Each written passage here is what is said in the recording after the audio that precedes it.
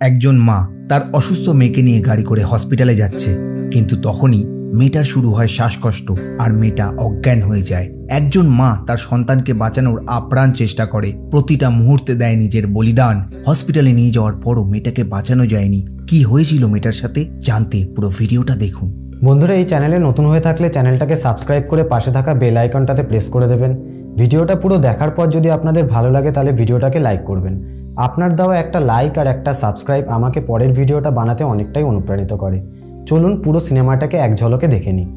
সিনেমার শুরুতেই আমরা একটি পরিবারকে দেখতে পাই। এই মেয়েটার নাম সারা। ইনি সারার বাবা টম। সারা তার মাকে বলে, আমি বন্ধুদের সাথে ঘুরতে যেতে চাই। কিন্তু সারার মা রাজি হলেও সারার বাবা বলে, না, কোথাও ঘুরতে যেতে হবে না। এইটা শুনে সারার মন খুব খারাপ হয়। আর সেখান থেকে উঠে চলে যায়। তারপর মাঝরাতে সারা লুকিয়ে লুকিয়ে বাইরে চলে আসে আর তার বয়ফ্রেন্ডের সাথে দেখা করে বাইকে ঘুরতে চলে যায়। রাতের বেলা সারার মা রুমে ঢুকে দেখে সারা রুমে নেই। সারার বাবা এই বিষয়টা দেখে খুব রেগে যায়। এদিকে পার্টিতে সারা তার বয়ফ্রেন্ডের সাথে ডান্স করতে থাকে, কারণ আর কিছুদিন পরেই সে আঠেরোতে পা দেবে। তারপর সারা আর তার বয়ফ্রেন্ড একটা নির্জন জায়গায় যায় আর একসাথে সুন্দর মুহূর্ত কাটাতে থাকে। পরের দিন সকালে সারার বাবা টম বাড়ির বাইরে বসেছিল। তখনই সারার বয়ফ্রেন্ড সারাকে বাড়ি ছেড়ে দেয়।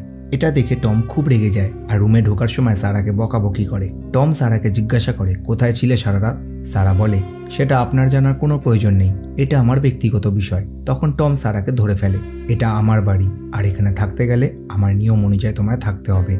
তখনই সারার মা চলে আসে আর সারা নিজের রুমে চলে যায়। কিছুক্ষণ পর সারার বোন রুমে আসে আর জিজ্ঞাসা করে, কালকের রাত কেমন কাটলো? সারা বলে, খুব সুন্দর, আমরা ওইটাও করেছি। তারপর দুজনেই হাসতে থাকে। তারপর সারার মা তার রুমে এসে তাকে বলে, কাল রাতে তুমি এটা ঠিক করনি। তখন সারা বলে, আর কিছুদিন পর আমি আঠেরো বছরের হয়ে যাব, আর সেদিন আমি আমার বয়ফ্রেন্ডের সাথে এখান থেকে চলে যাব। কিন্তু এই কথাটা বাইরে থেকে টম শুনে ফেলে। তখন টম নিচের বেসমেন্টে এসে ভাবতে থাকে, সারাকে সে কীভাবে আটকাবে? পরের দিন সকালে সারার মা সারাকে এসে বলে, আমি আর তোর বোন মার্কেটে যাচ্ছি। যদি তোর কিছু লাগে তাহলে বাবার কাছ থেকে চেয়ে নিস। এই বলে গাড়ি নিয়ে সেখান থেকে চলে যায়। এদিকে টম বাইরে গাছ কাটছিল। তারপর টম সারাকে ডাকে হেল্প করার জন্য। তারপর সারা আর টম মিলে একটা বক্স বেসমেন্টে রাখতে যায়। তারপর একটা সিক্রেট রুমে ঢোকে। সারা তখন জিজ্ঞাসা করে, এটা কোন রুম? আসলে তাদের বাড়ি বেসমেন্টের ভিতরে যে একটা সিক্রেট রুম আছে, সেটা টম ছাড়া কেউ জানতো না। তারপর রুমের ভিতরে ঢুকে সারা আর টম বক্সটাকে রাখে। আর বেরোনোর সময় টম দরজাটাকে আটকে দেয়। আর সারা ওই রুমের ভেতরেই আটকে পড়ে। ওই রুমটা সাউন্ড প্রুফ ছিল, তাই সারা চিৎকার করলেও তার আওয়াজ বাইরে পৌঁছায় না। এদিকে সারা চিৎকার করে বলতে থাকে, আমায় বাইরে বের করো। কিন্তু টম কোনো কথাই শোনে না আর সেখান থেকে চলে যায়। এদিকে সারা রুমের ভিতর আটকে যায় আর হেল্প হেল্প বলে চিৎকার করতে থাকে। তারপর সারা দেখে ওই বক্সের ভিতরে কিছু জামা কাপড় আর মেয়েদের প্রয়োজনীয় কিছু জিনিস রয়েছে। অন্যদিকে টম রুমটাকে লক করে দেয়। এদিকে রুমের ভিতরে সারা একটা লক দেখতে পায়। তিনবার ট্রাই করার পরও দরজাটা খোলে না আর ভুল কোড দেওয়ার কারণে রুমের লাইট চলে যায়। তারপর সারা ওই বক্সটা থেকে একটা টর্চ বার করে জ্বালায়। আর পুরো রুমটাকে ভালো করে দেখতে থাকে। কিন্তু কোথাও সে বাইরে বেরোনোর রাস্তা খুঁজে পায় না। আসলে ওই রুমটা এমনভাবেই তৈরি যে, সঠিক কোড ছাড়া কেউই ওই দরজাটা খুলতে পারবে না। আর ভুল কোড দিলে ওই রুমের কারেন্ট কিছুক্ষণের জন্য চলে যাবে। আর তারপরেও যদি ভুল কোড দিয়ে দরজা খোলার চেষ্টা করা হয়, তাহলে ওই রুমের ভেতরের অক্সিজেন আসা বন্ধ হয়ে যাবে। এদিকে অনেক রাত হয়ে যাবার পরও সারা বাড়ি না ফেরায় তার মা আর তার ছোট্ট বোন খুব চিন্তা করতে থাকে। টমকে দেখতে বলে, টম বলে, তোমার মেয়ে এখন বড় হয়ে গেছে। বয়ফ্রেন্ডের সাথে পার্টি করছে। ঠিক সময় হলে ফিরে আসবে। এদিকে সারা রুমের ভিতরে চিৎকার করতে থাকে। পরের দিন আবারও সারা দরজাটা খোলার চেষ্টা করে, আর ভুল কোড দেওয়ার ফলে আবারও রুমের কারেন্ট চলে যায়। কিছুক্ষণ পর কারেন্ট আসলে সারা সেখানে থাকা একটা বালতিতে হিসু করে আর রুমের এক কোণে বসে অপেক্ষা করতে থাকে। কখন টম এসে দরজা খুলবে? এইভাবেই চার দিন কেটে যায়। পরের দিন টমের আওয়াজ পেলে সারা লুকিয়ে পড়ে। টম এসে দরজা খুলে ঢুকলেই সারা দ্রুত টমকে সরিয়ে দরজা থেকে বেরিয়ে যায়। কিন্তু বাইরে বেরিয়ে দেখে আরেকটা দরজা আছে। কিন্তু সেটা লক করা। সারা চিৎকার করে আর দরজাটা খোলার চেষ্টা করে। তখন টম সারার চুলের মুটি ধরে সারাকে টানতে টানতে রুমের ভেতরে নিয়ে আসে আর মাটিতে ছুঁড়ে ফেলে দেয়। তারপর সারাকে বলে তুমি এখান থেকে কখনোই বেরোতে পারবে না। তারপর বলে, এখানে আমি যা যা বলব তোমাকে তাই তাই করতে হবে। কিন্তু সারা সেখান থেকে পালানোর চেষ্টা করে আর দরজার সামনে গিয়ে চিৎকার করতে থাকে। তখন টম সারাকে উল্টো করে তার সাথে জোর করে সঙ্গম করে। সারা ব্যথায় চিৎকার করতে থাকে আর ভাবতে থাকে একজন বাবা তার মেয়ের সাথে এটা কি করে করতে পারে। কিছুক্ষণ পর টম সারাকে ছেড়ে দেয় আর সারা রুমের এক কোণে শুয়ে ব্যথায় কাতরাতে থাকে আর বাইরে থেকে টম সেটা দেখে মজা নিতে থাকে। তারপর দরজা লক করে সেখান থেকে চলে যায়। পরের দিন সারার মা বাড়িতে পুলিশ ডাকে আর বলে, সারা বিগত পাঁচ দিন ধরে বাড়ি ফেরেনি। তখন টম সেখানে আসে আর পুলিশকে বলে, সারা হয়তো তার বয়ফ্রেন্ডের বয়ফ্রেন্ডের সাথে চলে গেছে। তখন পুলিশ আর কিছুই করতে পারে না। তবু পুলিশ বলে যায়, তারা যদি সারার বিষয়ে কিছু জানতে পারে, তাহলে তাদেরকে জানাবে। এদিকে সারার মা রুমে এসে বসে কাঁদতে থাকে। অন্যদিকে সারা অক্সিজেন আসার জায়গাটা দিয়ে জোরে জোরে হেল্প হেল্প বলে চিৎকার করতে থাকে। এদিকে সাত দিন পার হয়ে গেছে, অথচ সারা কিছুই খায়নি। রাগে সে পুরো রুমের জিনিসপত্র ওলট পালট করে দিয়েছে। আর ভাবছে, সেখান থেকে সে কি করে বেরোবে? ঠিক তখনই সারার তার বয়ফ্রেন্ডের সাথে কাটানো সময়গুলোর কথা মনে পড়ে। আর সে তার বয়ফ্রেন্ডকে বলছে, আর কিছুদিন পর আমি আঠেরো বছরে পা দেব, আর তোমার সাথে চলে যাব, আর একটা সুন্দর সংসার গড়ে তুলব। তারপর সারা রুমে বসে বসে তার বয়ফ্রেন্ডে গাওয়া গান গাইতে থাকে। সত্যি, এক রাতে একটা মানুষের জীবন কীভাবে পাল্টে গেল, তাই না? পরের দিন টম বাইরে ঘাস কাটছিল। তখনই সারার খোঁজ করতে তার বয়ফ্রেন্ড আসে। টমকে জিজ্ঞাসা করতে টম বলে, সারা উচ্চশিক্ষার জন্য বাইরে গেছে আর সেখানেই থাকবে। এটা শুনে সারার বয়ফ্রেন্ড খুব অবাক হয়ে যায় আর সেখান থেকে চলে যায়। এইভাবেই একুশ দিন পার হয়ে যায়। এদিকে সারার শরীরও খারাপ হয়ে যায়। সে রুমের এক কোণে বসে শুধু এই প্রার্থনাই করতে থাকে, সে যেন এখান থেকে মুক্তি পায়। ঠিক তখনই টম রুমে সারার জন্য কিছু খাবার আর একটা কেক নিয়ে আসে। আসলে আজ সারা আঠেরো বছরে পা দিয়েছে। আজ তার জন্মদিন। টম কেকটা মাটিতে রাখে আর সারাকে হ্যাপি বার্থডে জানায়। আর সারাকে বলে, ক্যান্ডেল নিভিয়ে তার ইচ্ছে প্রকাশ করতে। সারা ভয় ভয় এগিয়ে ক্যান্ডেল নেভায়। টম তখন সারাকে একটা ড্রেস গিফট করে আর সেটা পরে আসতে বলে। কিছুক্ষণ পর সারা লাল কালারের ড্রেসটা পরে টমের সামনে আসে। টম বলে, খুব সুন্দর লাগছে। বলো, তুমি কি চাও? আর যা চাও তাই পাবে। সারা বলে, আমি এখান থেকে বাইরে যেতে চাই। তখন টম বলে, এটা তো সম্ভব নয়। অন্য কিছু চাও। সারা তখন টমকে একটা টিভি দিতে বলে। টম বলে, না, টিভি দিতে পারব না। তখন সারা একটা ঘড়ি দিতে বলে। টম তখন বলে, ঠিক আছে, আমি একটা ঘড়ি এনে দেবো। তারপর জোর করে আবারও সারার সাথে সঙ্গম করে। এদিকে এইভাবে আটত্রিশ দিন পার হয়ে যায়। সারা রুমের ভিতরে বসে খাবার খাচ্ছিল। ঠিক তখনই তার মাথায় একটা আইডিয়া আসে। সে খাবারের একটা ভাঙা ক্যান দিয়ে একটা ধারালো জিনিস তৈরি করে। আর টম যখন রুমের দিকে আসছিল, তখন লাল ড্রেসটা পরে খুব সুন্দর করে সে দাঁড়িয়ে থাকে। টম দরজা খুলে ভেতরে ঢোকে আর সারার সামনে যায়। আর ঠিক তখনই সারা টমকে অ্যাটাক করে। কিন্তু টম আগে থেকেই বিষয়টা বুঝে ফেলেছিল। তাই সে সারাকে ধরে ফেলে আর সারার হাত থেকে ধারালো জিনিসটা কেড়ে নিয়ে মাটিতে ছুঁড়ে ফেলে দেয়। তারপর পায়ের জুতো দিয়ে সারার হাতে এক লাথি মারে। সারা ব্যথায় চিৎকার করতে থাকে। তারপর টম সারাকে উল্টো করে জোর করে সঙ্গম করতে থাকে। এদিকে সারা ব্যথায় চিৎকার করতে থাকে। আর ততক্ষণ করতে থাকে যতক্ষণ না সারা অজ্ঞান হয়ে যায়। কিছুক্ষণ পর সারা অজ্ঞান হয়ে চুপ করে গেলে টম সারাকে ছুঁড়ে মাটিতে ফেলে দেয়। বন্ধুরা, এই চ্যানেলে নতুন হয়ে থাকলে চ্যানেলটাকে সাবস্ক্রাইব করে পাশে থাকা বেল আইকনটাতে প্রেস করে দেবেন। ভিডিওটা পুরো দেখার পর যদি আপনাদের ভালো লাগে, তাহলে ভিডিওটাকে লাইক করবেন। আপনার দেওয়া একটা লাইক আর একটা সাবস্ক্রাইব আমাকে পরের ভিডিওটা বানাতে অনেকটাই অনুপ্রাণিত করে।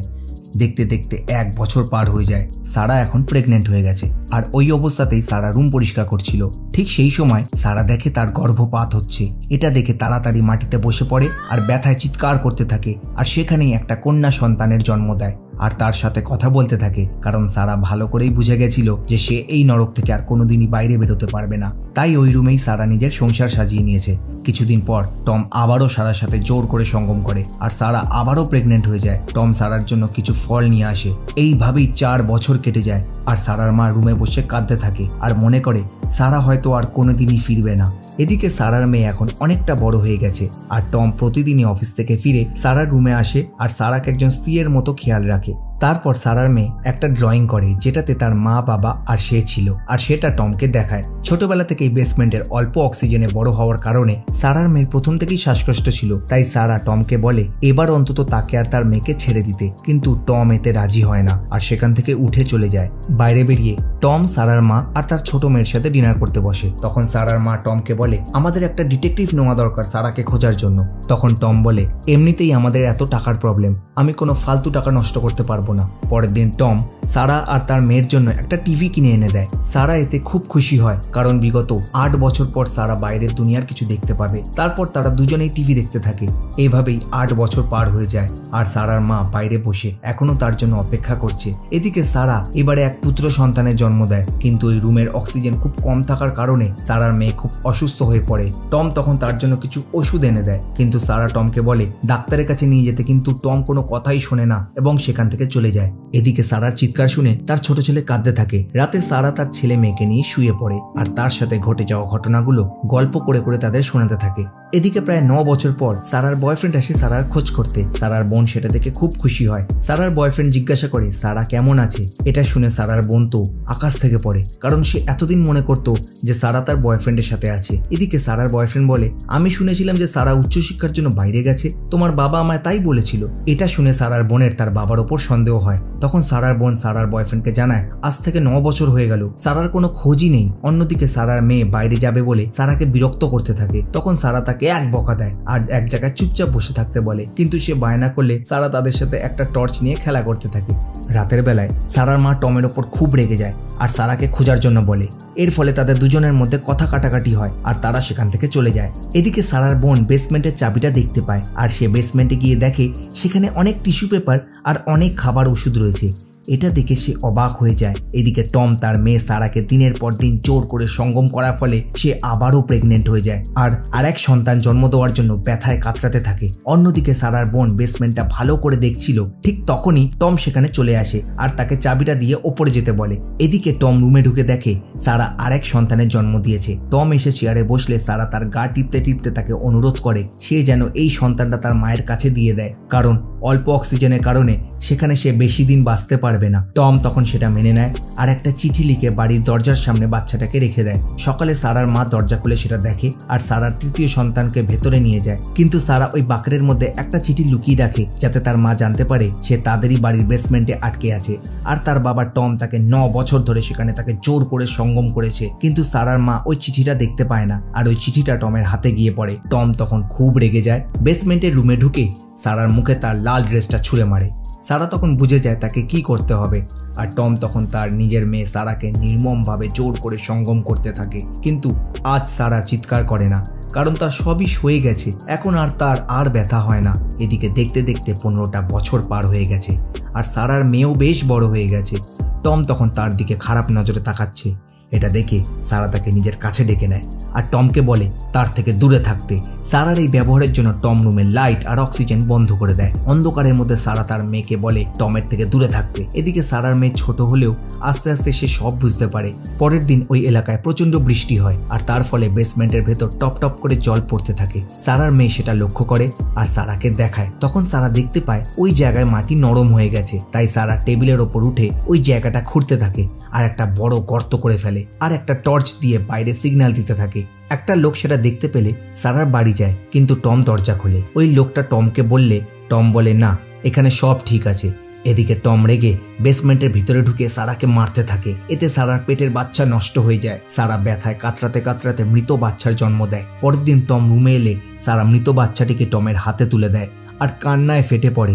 আর টম বাচ্চাটাকে বাড়ির পিছনে কবর দিয়ে দেয়। আর সারা ভাবতে থাকে, সে এই নরক থেকে তার সন্তানদের কি করে বাঁচাবে? কারণ টমের নজর এখন সারার মেয়ের দিকে পড়েছে। এইভাবেই আরও পাঁচটা বছর কেটে যায়। সারার ছেলেমেয়েরা বাইরে যেতে চাইলেই সারা পুরো রেগে মেগে রুম এলোমেলো করে দেয় আর মাটিতেই শুয়ে পড়ে। তখন সারার ছেলে আর মেয়ে মিলে পুরো রুমটা ঠিক করে। তারপর সারা তার ছেলে মেয়েকে আসল ঘটনাটা খুলে বলে। এটা শুনে তারা কান্নায় ফেটে পড়ে আর তার মা সারাকে জড়িয়ে ধরে। এদিকে টমও এখন অনেক বুড়ো হয়ে গেছে। আর কিছুদিন পর রুমে এসে সারার সাথে খারাপ ব্যবহার করলে সারার ছেলে তার ওপর ঝাঁপিয়ে পড়ে। টম পারছে না দেখে সেখান থেকে চলে যায়। আসলে পাপ বাপ কেউ ছাড়ে না। এদিকে কিছুদিন পর টমের চাকরি চলে যায় আর তার মাথায় অনেক লোনের বোঝা এসে পড়ে। টম এবার বুঝতে পারে যে ওর সময় শেষ হয়ে এসেছে। অন্যদিকে অনেক চেষ্টা করেও সারা রুম থেকে বেরোনোর কোনো রাস্তা খুঁজে পাচ্ছে না। তারপর টম দেখে যে তার কাছে আর বেশি টাকা নেই, তাই সে আর সারা তার বাচ্চাদের খাওয়াতে পারবে না। তখন টম বেসমেন্টের রুমের অক্সিজেন বন্ধ করে দেয় আর রুমে একটা পাইপ ঢুকিয়ে গাড়ির বিষাক্ত ধোয়া রুমে ছেড়ে দেয়, যাতে তারা সেখানেই দম বন্ধ হয়ে মারা যায়। কিন্তু এতে সারা আর তার ছেলের কিছু না হলেও সারার মেয়ে খুব অসুস্থ হয়ে পড়ে আর তার শ্বাসকষ্ট শুরু হয়। টম রুমের ভেতরে এলে সারা তাকে হসপিটালে নিয়ে যেতে বলে, না হলে সে মারা যাবে। টম বলে, ঠিক আছে, কিন্তু তুমি যদি বাইরে গিয়ে কোনো হুঁশিয়ারি করো, তার ফল কিন্তু ভালো হবে না। আর সারার ছেলেকে রুমে আটকে সারা আর তার মেয়েকে নিয়ে হসপিটালে যায়। কিন্তু ততক্ষণে সারার মেয়ে অজ্ঞান হয়ে পড়েছে। ডাক্তার অনেক চেষ্টা করে তাকে প্রাণে বাঁচায়। এদিকে সারার কাছে এটাই ছিল শেষ সুযোগ। সে বিগত পঁচিশ বছর পর বাইরের দুনিয়া দেখেছে। সারা তখন বাথরুমে যেতে চায়, কিন্তু টম তাকে যেতে দেয় না। তখনই একজন ডাক্তার আসে আর কয়েকটা কাগজ সই করতে বলে। সারা কোনোভাবে ওই ডাক্তারটাকে বোঝানোর চেষ্টা করে। কিন্তু টম পাশে থাকায় বেশি কিছু করতে পারে না। ডাক্তারটা চলে গেলে টম কাগজটা ফিল করতে যায়। কিন্তু তখনই টমের মোবাইলে একটা ফোন আসে আর ওই সুযোগে সারা কাগজের ওপর জল ঢেলে দেয়। টম অন্য কাগজ আনতে গেলে সারা ওই সুযোগে ডাক্তারটার কাছে যায় আর শুধু এইটুকুই বলে যে আই নিড হেল্প এই বলে ডাক্তারটাকে জড়িয়ে ধরে। সৌভাগ্যক্রমে সেখানে একজন পুলিশ অফিসার ছিল। সে টমকে ধরে ফেলে। এদিকে সারার মা এই সব দেখে অবাক হয়ে যায়। এই যে ছেলেটাকে দেখছেন? এই হলো সারার তৃতীয় সন্তান, যে এখন অনেক বড় হয়ে গেছে। কিছুদিন পর সারার বাড়ির সামনে তার সব ছেলে মেয়ে খেলা করতে থাকে আর এই সুন্দর পৃথিবীতে আনন্দে দিন কাটাতে থাকে। সারা এটা দেখে খুব খুশি হয়। ঠিক তখনই সেই ছেলেটাকে আমরা দেখতে পাই যে আজ প্রায় পঁচিশটা বছর ধরে একজনের অপেক্ষায় বসে আছে। সত্যিকারের ভালোবাসা হয়তো একেই বলে। যে সত্যি কাউকে ভালোবাসে, তাকে কখনোই ছেড়ে যাবে না। ভালোবাসার টানে সে ঠিক ফিরে আসে। সারা আর তার বয়ফ্রেন্ড একটা নতুন জীবনের পথে বাইকে করে লং ড্রাইভে চলে যায়। বন্ধুরা, যদি ভিডিওটা ভালো লেগে থাকে, তাহলে লাইক করবেন, বন্ধুদের সাথে শেয়ার করবেন। আর এই চ্যানেলে যদি নতুন হয়ে থাকেন, তাহলে চ্যানেলটাকে সাবস্ক্রাইব করে পাশে থাকা অল বাটনটা প্রেস করে দেবেন। দেখা হচ্ছে পরের ভিডিওতে নমস্কার।